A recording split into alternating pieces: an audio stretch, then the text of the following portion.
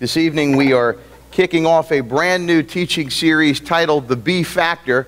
And when we think about this series and the inspiration for this is, is that um, God has requirements for each of us. That God has an ideal for who we are to be, for how we're to know Him and how we're to follow Him. And the good news about this is, is that God has not left this to guesswork. He hasn't left it to the feelings of emotion or experience or even intellectualism. God has gone to great lengths to write into history his precepts for peace in this life and in the life to come. Now, why this is significant is that knowing what God requires of you and what God has for you provides a great sense of spiritual structure, something that is needed, as well as secure footing for knowing where you stand with God. Now there's many places in the Bible that you can look and to see what does God require of us, but there's one place in particular, and it's where we're going to journey over these next few weeks, where this thought of what good does God require of me. And it's a book in the Old Testament, and it's Micah. And it's not necessarily a familiar book, but maybe that's one of the reasons why we need to do it. The book of Micah, it is written by the prophet Micah. And it's written around 722 BC, about 700 years prior to the birth of Christ. What's significant about this book is that God is at work with his people, the people of Israel. At this point in history, God has, through a number of events, has divided the kingdom of Israel into two subdivisions the northern kingdom and the southern kingdom. Here, Micah is addressing both kingdoms, but he's especially focusing on the southern kingdom. And his book can be broken down into three phases. And I want you to take notice of this in the notes because it's important to the context of our study. Micah could be broken down into understanding it this way that God through Micah is talking about judgment for injustices. That there was a lot of injustice going on in Micah's day. And that's usually what God's prophets would do, is they would speak and bring warnings to things that were going on that were not good, that were not healthy. Events and actions that were taking place that were actually leading people away from God, not to God. And so we see here in the book of Micah judgments for injustices, and we're going to talk about those in just a moment. But then here's the good news about the Bible and about this book is that even though God will bring judgment, there's always restoration after the judgment. And see, isn't that like a good parent? A good parent will never let his children or her children run amok and not do anything about it because a good parent's going to step in and there's going to be consequences. There's going to be judgment. And then afterwards, of course, and through the whole effect, there's love. And so, God, even though He does judgment, God also brings restoration and love. You know, personally, I'm thankful for God's judgment in my own life. Imagine if we were never convicted of anything we'd never done wrong. Imagine if we were the boss of our own life and we were our own conscience. Well, we would make a mess of things. I got news for you. We probably wouldn't be a church. There would have been nobody at the 11 o'clock service, and there was a good crowd there. There'd be nobody here tonight. We got a crowd here. There'd be nobody at church because you know what? We're in control, and we, we can rationalize the stupidity that we do till the cows come home, as the saying goes. But God brings judgment for good reasons. But then He brings restoration. And Micah talks about that. But where we want to focus on is this third theme of this book. And that is that God provides clear requirements for how we're to know and follow Him. And so these requirements come in the context of political dismay. You had political leaders and religious leaders robbing the other people in this area in the southern kingdom. God had blessed and promised so many things, but yet people were still scheming, getting over on their family, getting over on their friends, and anybody else they could. And God is stepping in and saying, That's not what I've blessed you to do. I haven't blessed you to take advantage of the poor or the weak or those with diseases. I haven't put you in positions of leadership so that you can get over on people. And so God steps in and He says, in essence, This is what I want you to be about. This is what I saved you to be about. And I believe that's applicable to us today. We need to know exactly what God requires of us. In fact, there's a key verse here. It's found in Micah chapter 6, verse 8. And it's on the screen, and why don't you just uh, find your place there on the screen? And um, obviously, you can follow along in your Bibles or on your mobile device. But this is what it says in Micah 6 8. And let's say it together this evening. Let's say it. He has, has he told you, O man, what is good? And what does the Lord require of you? But to do justice, and to love kindness, and to walk humbly with your God. Now, we're going to wrestle with the last part of that verse over the next three weeks, but tonight we're going to focus on what does it mean to do justice. And in essence, we're going to tackle the question of what does God require of us? Now, when it comes to trying to understand what God requires of us, I believe there's a lot of misconception. And a lot of that misconception may have kept you from coming to church for a while. Or maybe right now that you're dealing with misconceptions of what God requires of you, and it's actually getting in the way of you living for God. Well, one of the common misconceptions is, is sometimes people think, well, I need to be perfect. Um, that's what God requires of me. But the Bible doesn't say be perfect. Uh, because God knows we're not going to be perfect. Now, we could pursue perfection, even though we'll fall short. We've already fallen short. We could pursue holiness because God is holy, but we'll never attain it. But God doesn't say you, that's not a requirement that you need to be perfect to follow Him. Another one that people think is they'll go, well, I need to be, I need to be somebody, you know, I need to be this spiritual giant and save the world. Well, nobody's going to save the world. Start in your own home. Start loving your own family. I bet you they've been wanting you to do that for a while. You know, start right there in being responsible.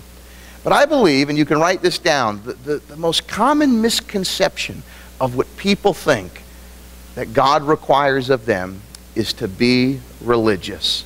Oh, in order to come to church, in order to follow God, you got to be religious. Well, that's not true. The last thing you want to do is be religious because religion will sabotage your relationship with God. You don't want to be perfunctory when it comes to God. You don't just want to spit verses out and be a robot and adopt this life. You, know, you want to be real with God. You want to be real with people. Fact, uh, you know, it's hard to believe the gift wrapping will be in three months, but I remember last year we were doing the gift wrapping and wrapping somebody's gifts, and I invited them to church, and they said, Well, Ray, I would love to come, but I'm really not the religious type. And I leaned over the table and I said, Dear, that's good because I'm not religious either, okay? And the last thing you want to do is be religious. You want to be the person God created you to be, and you want your relationship with Him to be vibrant, to be fresh. But this thought of thinking we have to be religious to please God, and that's what God requires, is nothing new. In fact, if you have a Bible and um, it'll be on the screen, you can go to Micah chapter 6. We're going to start in verse 1 here. What's interesting about Micah chapter 6, and where we'll spend our time this evening, is that Micah chapter 6 actually draws a, a net over the previous five chapters and draws it all in. As we approach chapter 6, verse 1, God is speaking through Micah. And it's almost as if God is this parent who has done a lot for his children, everything for his children, but his children do not live for him. Think about that as a parent. You know, you do everything for your child and you provide for them. You know, you provide a house for your child, you provide cooked meals, home cooked meals for your children. Okay? You know, you wipe your children when they were younger and clean them, and I bet you they made a couple of doozies in their day, okay? You do laundry three times a week for your children. And then to have them not obey and not follow the rules of the home would be like a slap in the face. And as God speaks here in Micah chapter 6, it's that. God is reminding them of the great lengths He's gone to to bless them. And because they're not living a certain way, God is going to come out of this and say, Well, this is what I require of you. And Micah is God's megaphone here.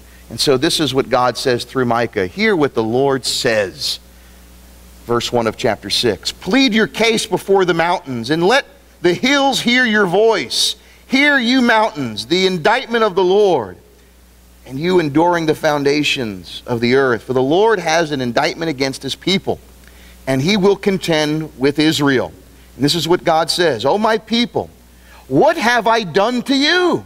In other words, what haven't I done for you? Anything you've needed, I've blessed you with.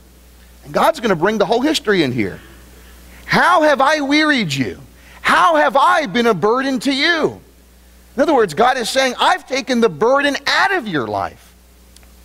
I've brought rest. Remember, Jesus would say, Come to me, everyone who's burdened and heavy laden, I will give you rest. That's what God's saying here. He's saying, I've taken your burden away. I've carried your burden.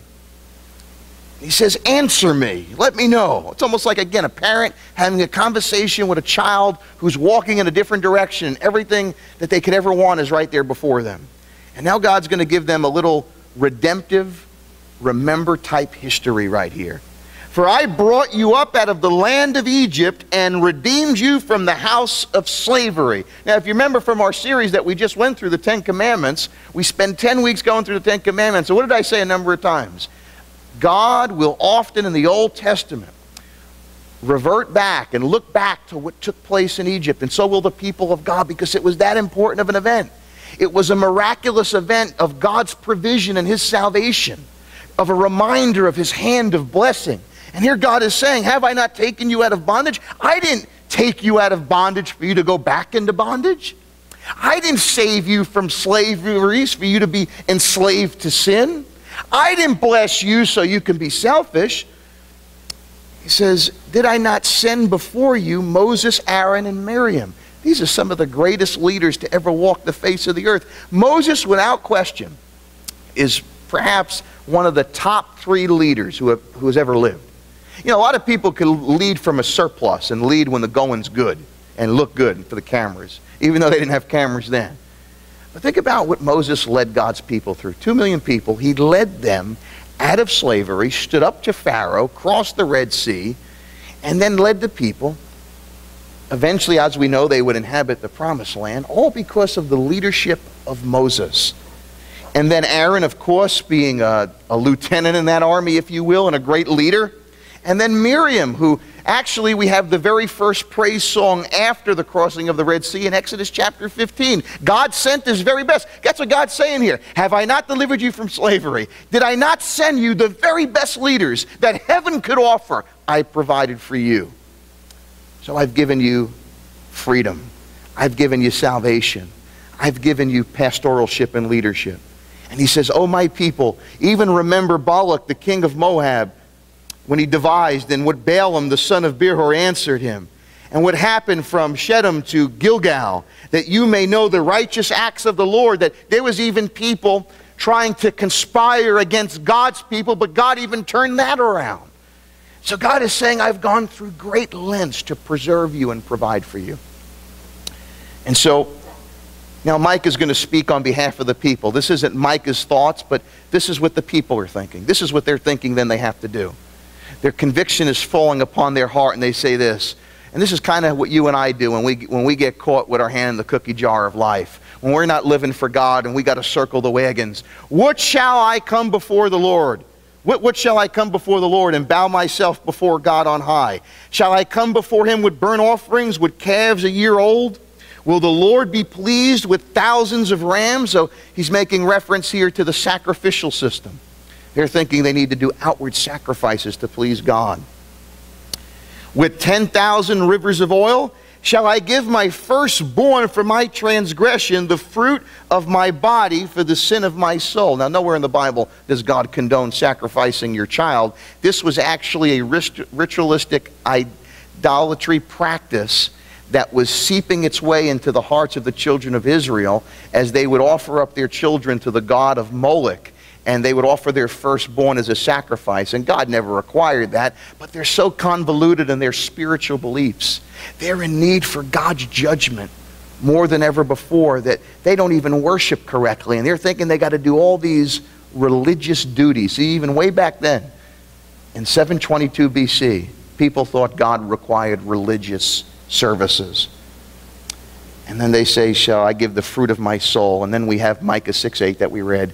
Has he has told you, O man, what is good. And what does the Lord require of you but to do justice and to love kindness and to walk humbly with your God? And so God doesn't require us to be religious. He requires us with the, the title of tonight's message is God requires us, and that's what we're going to focus on this evening on justice, to be virtuous. That's the essence of being a person of justice is that you are virtuous.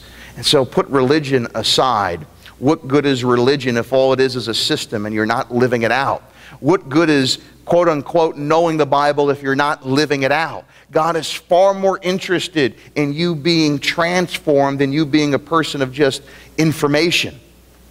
And so, as we come to this message and we come to this text, God is stressing the importance of you and I being about loving mercy, about walking humbly with God, and where we're going to look to this evening about justice.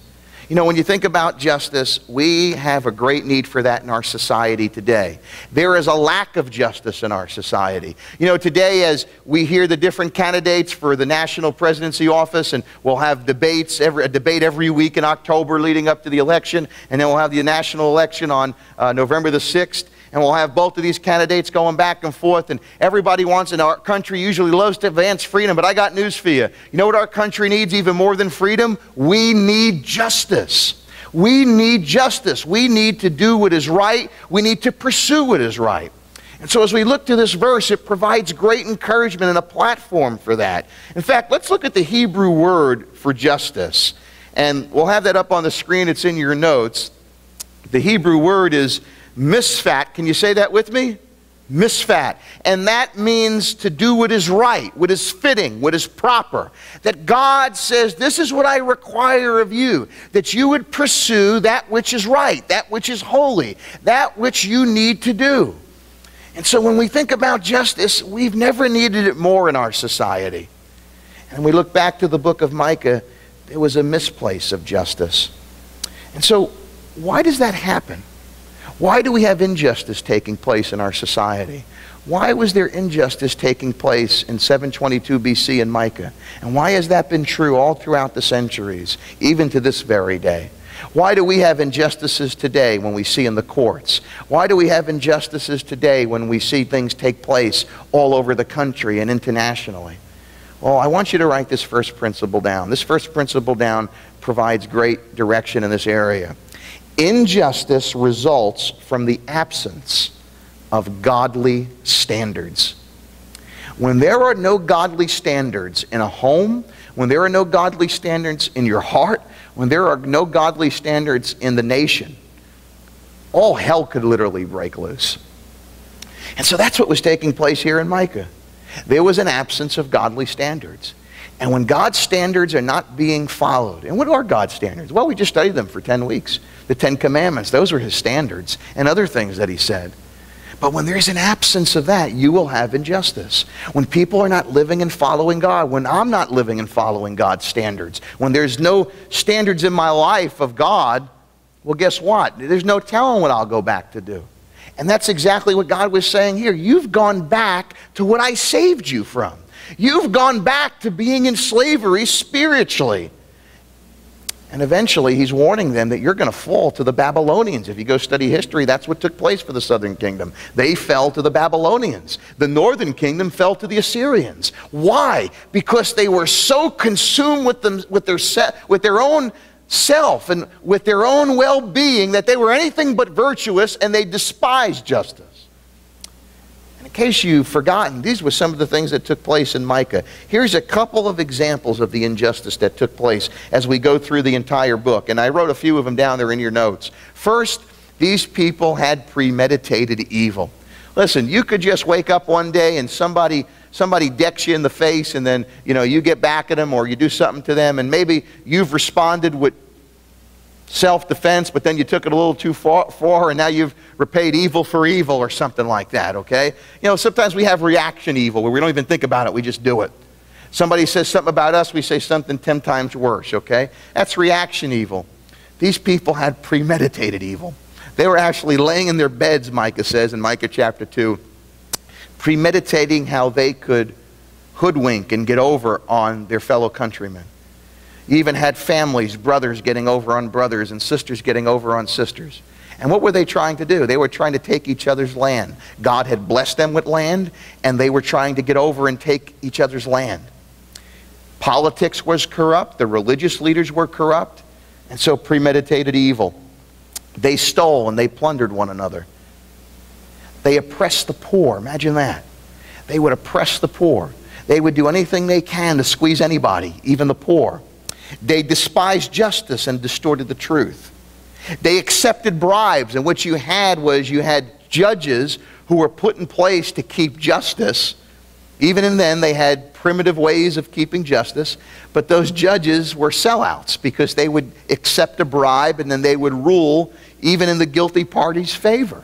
And so you had the poor losing whatever they had. You had good, hardworking people losing whatever they had. And we see that today, right?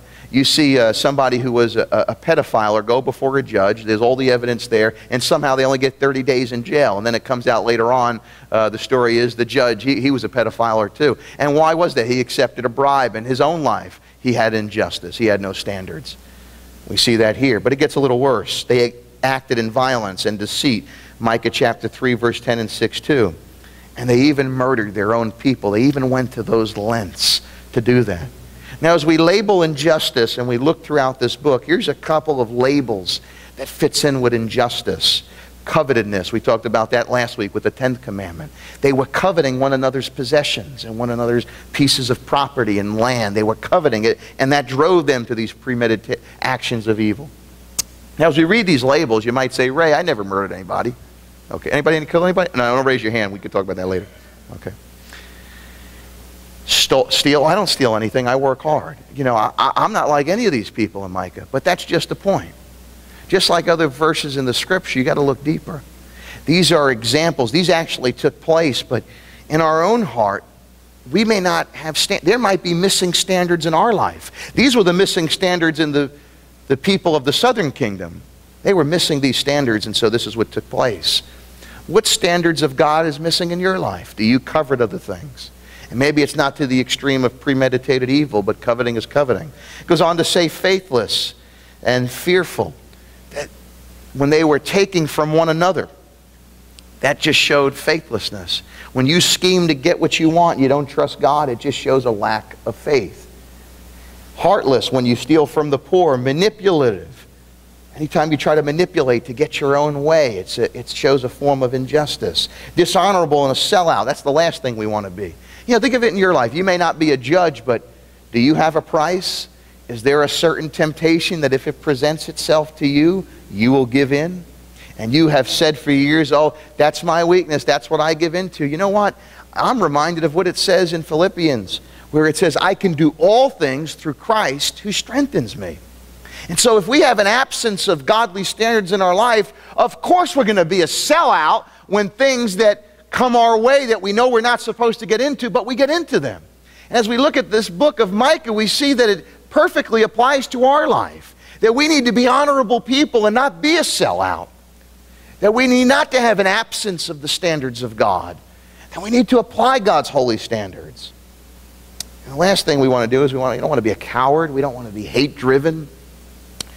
We want to have standards in our life that we live by. And they might say, Ray, what are some of those standards that we can live by? Well, I summed up the Ten Commandments and a couple of other commands in the Old Testament, New Testament. And I want to give you a few simple commands, a few simple standards to live by, godly standards. Number one, first and foremost, seek to honor God with your life. Let that be a standard. I'm going to honor God whatever, whatever I do in my life. I want to bring honor to God. At work, I want to bring honor to God. I want to bring honor to God at school. I want to bring honor to God in my marriage. I want to bring honor to God in my home. I want to bring honor to God with my words, with my actions, with my finances, with my talents. I want to bring honor to God. That's what I want to do with my life. And a lot of times people get so concerned and we were talking about this earlier about spiritual gifts and the Holy Spirit. My friends, you know, it's not about getting more of the Holy Spirit, it's about the Holy Spirit getting more of us. That's a correct teaching in the Bible. And so if we want to be spirit led people, we got to live according to the Spirit. And we got to be people who live to honor God. That should be the top priority of our lives. And in the book of Micah, that was totally missing. That standard, that was missing. That form of justice was missing. And you can't have justice. You can't do justice if you're not following a just God. Didn't Jesus say, Seek first the kingdom of heaven and his righteousness? Well, righteousness is a form of justice. God is a just God. And if we're not seeking to live an honorable life, well, then how are we going to be a person of justice? A second standard for us to follow is that I'm going to have a zero tolerance policy for sin. Now, think about that for a second. We said this in the early service.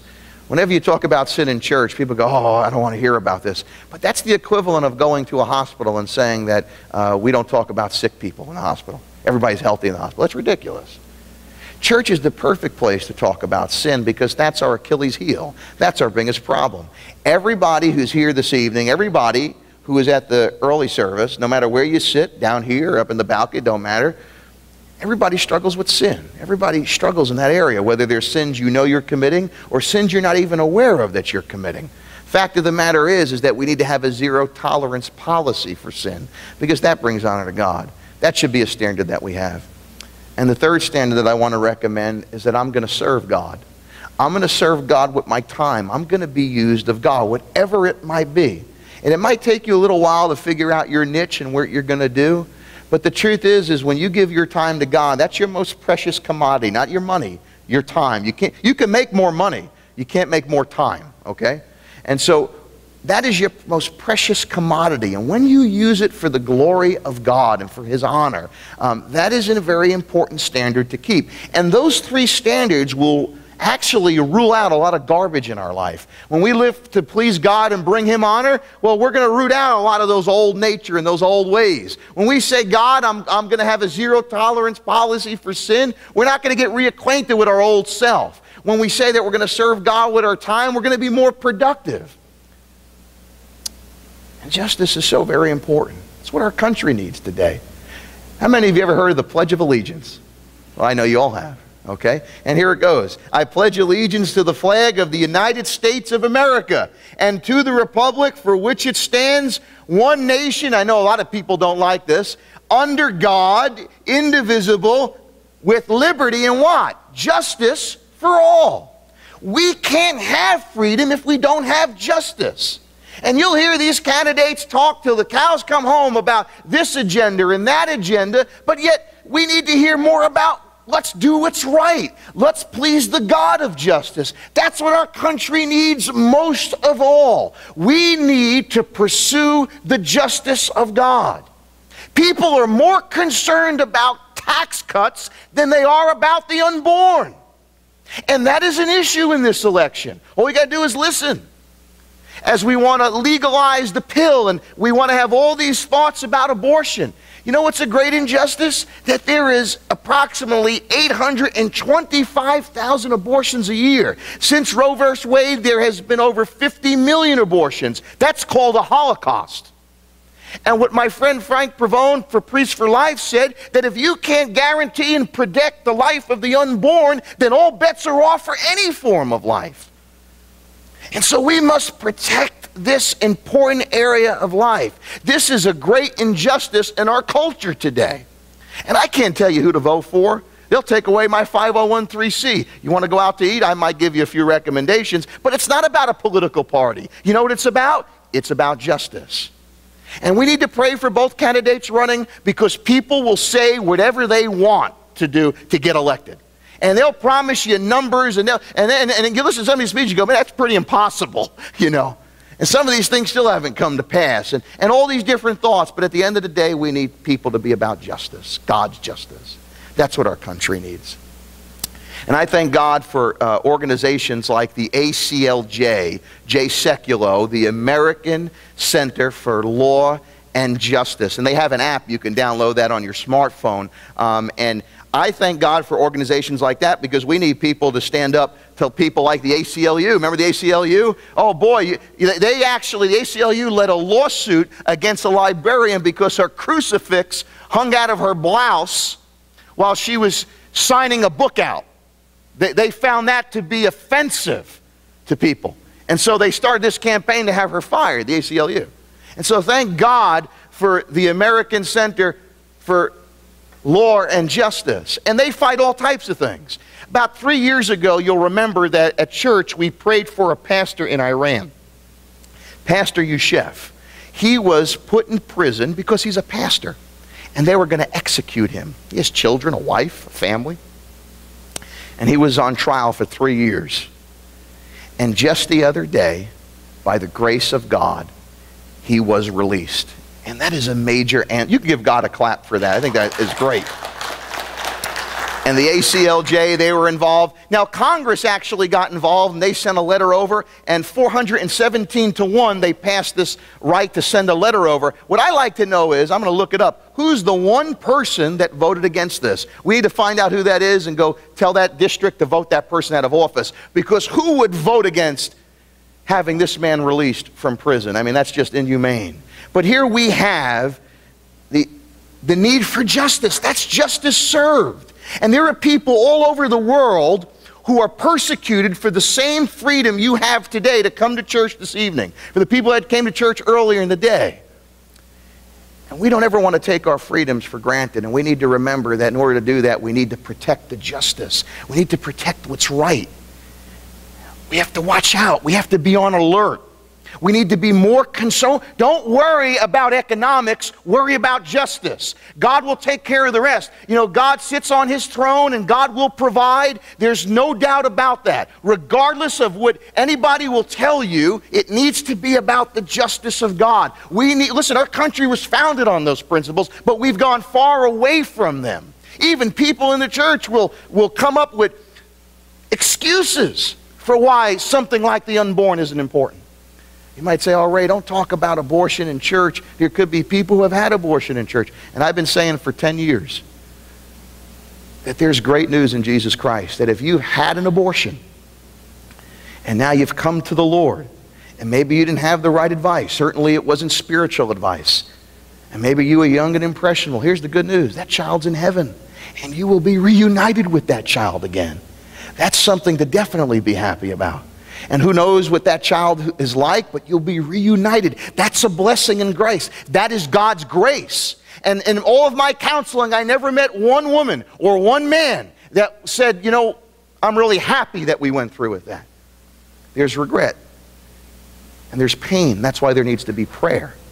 And that's why we need to stand up against. This is one of many injustices, but perhaps the greatest one because this is the foundation of all injustices. If we can't have a voice for those who don't have a voice, then what's the point in having a voice? That's what true influence is, isn't it? Being a voice for those who don't have a voice. And we may not, we're not taking up a cause and we're not going to go lead a march here for abortion. But we need to care for issues like this. And maybe for some, that is your passion and what you're going to be about. But we should make sure that we're about the justice of God and about the things that God is about. And so, when we have an absence of the standards of God, we see that we have a culture that isn't about justice, it's about everything else, and that is dangerous. And that is why we have children learning about sexual activity in kindergarten. I don't want my son learn about those things unless it comes from me and my wife. Okay? Well, that's, that's an abuse of, of justice. Okay? That's a lack of justice. And the list goes on. And our country begins to erode because there's a lack of justice. And maybe Lady Justice might be on the wall, but we're not following the commandments. We're not following God's standards. And we need to preserve that. You need to pray about that. You need to pray to preserve justice.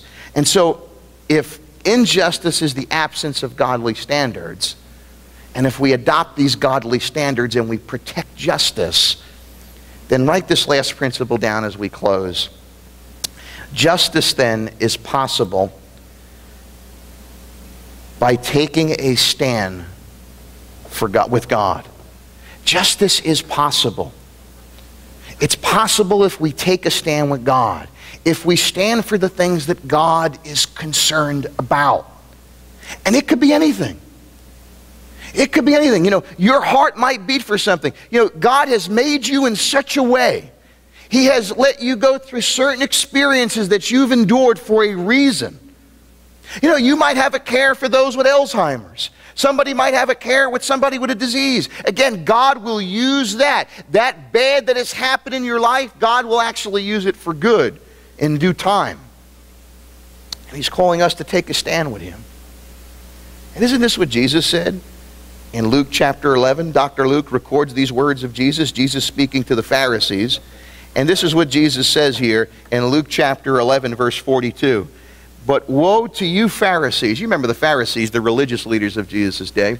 They were so concerned about looking spiritual, about getting a pat on the back and looking the part, but they weren't living it. And so Jesus says, Woe to you, Pharisees, for you tied mint and rue and every herb. And that sounds like something you put on a salad, actually. But that was, that was something they would harvest and they would give that over to God, trying to keep the law, but that was all they were doing.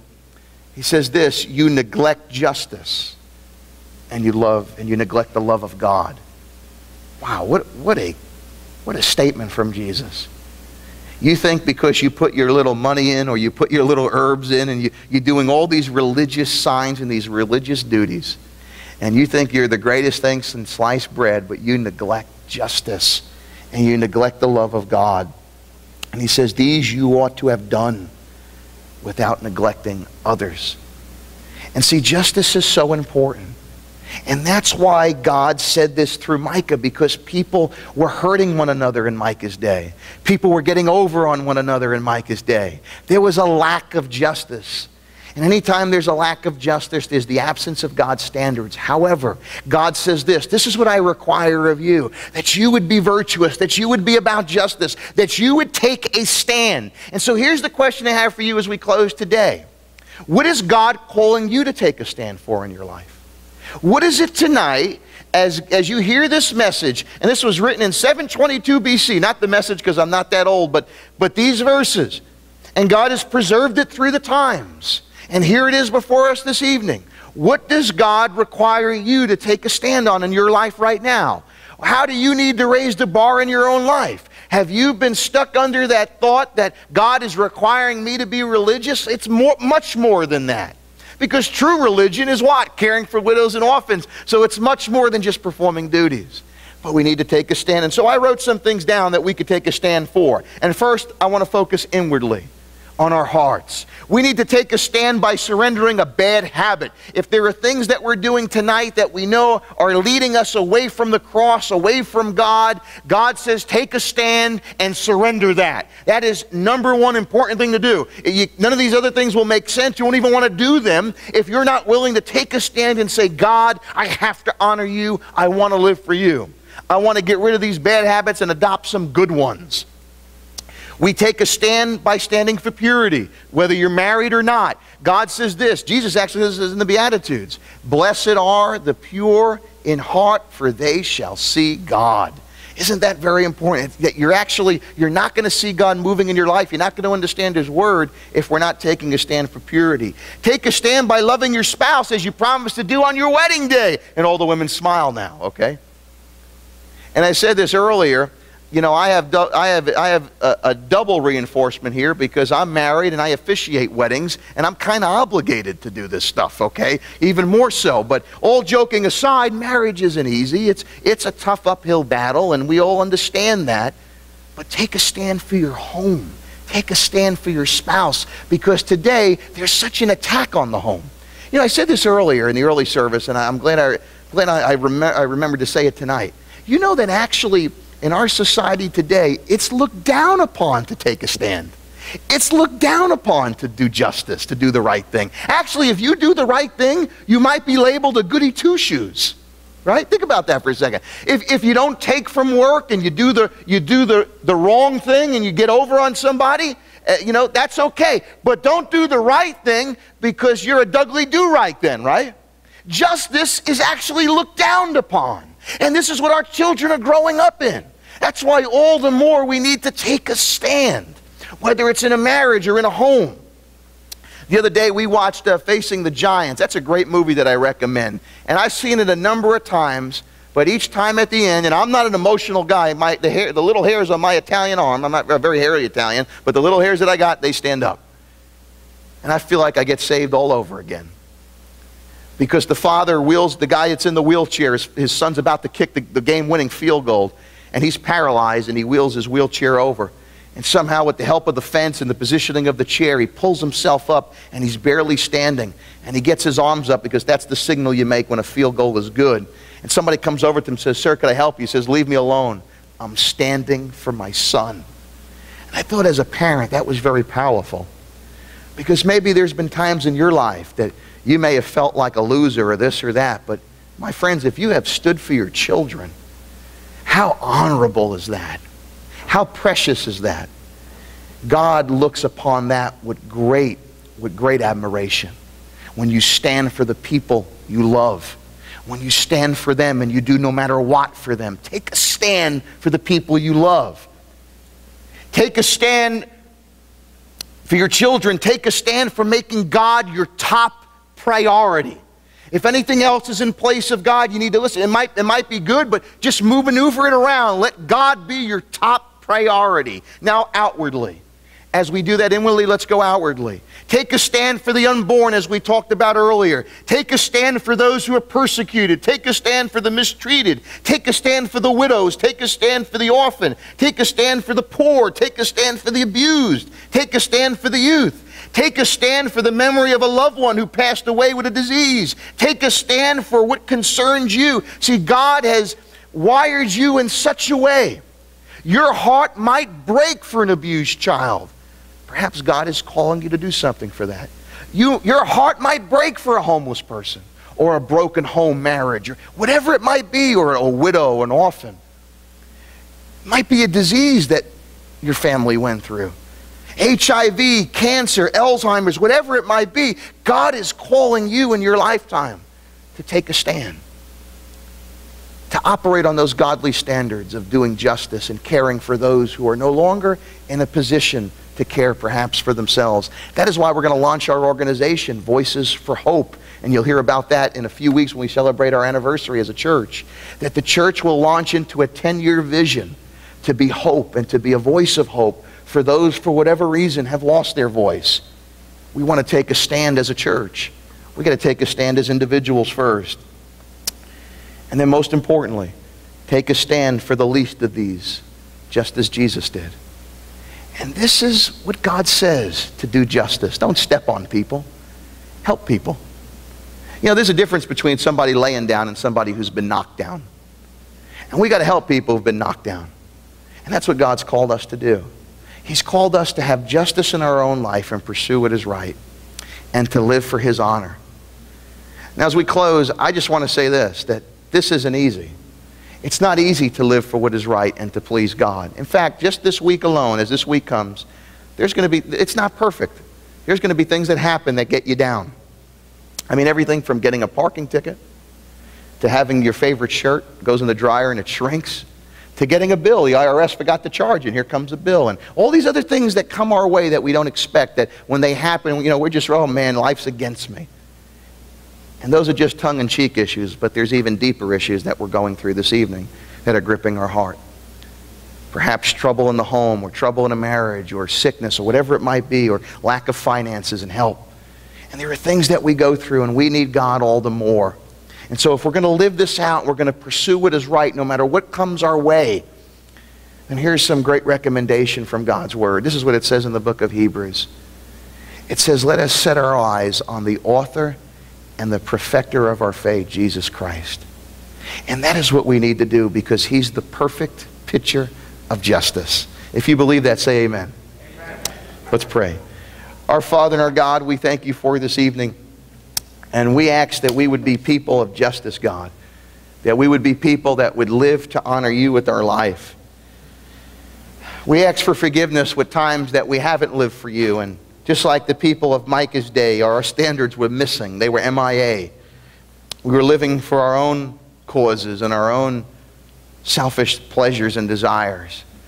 But thank you that even though your conviction and judgment came, there is still mercy and forgiveness. There's still restoration. We thank you that you've given us clear requirements to be humble with you, to love mercy, to help others, and to do justice. Let us be about justice, God. Let us pray for justice. Let us be concerned with your heart. Let us be concerned for those who don't have a voice for whatever reason. God, for we know that because of this, you've provided great significance if we choose to walk down this road, the road least traveled, the road that nobody else seems to have time for. Lord, today barbecues and bar stops and ball games and everything else seems to be more important than you. And usually, God, we wait for the roof to fall in to call upon your name and to trust in you. But tonight, God, we ask for strength that no matter what comes our way tomorrow, no matter what pains we carry, and no matter what crosses that are on our back this evening, We want to be people who do justice because that's what you require of us. That this is a message that you've woven into the history of our faith. So we pray for grace as we move forward. May we be people who live and honor you. May we be people, just as Jesus said, that we will not neglect justice and we will not neglect loving you. We give you thanks and praise for who you are, for the blessing of salvation in our life, and for the blessings that are to come. Let us be a blessing, Lord God. Let us be people who do justice, who love mercy, and walk humbly with you. We commit our hearts before you this evening. We thank you for your Son, Jesus Christ, who died on the cross and rose from the dead. We believe that truth with all of our heart. We thank you for your peace in this life and the peace to come in the next. We commit ourselves before you. In the name of the Father, the Son, and the Holy Spirit, we pray. Amen.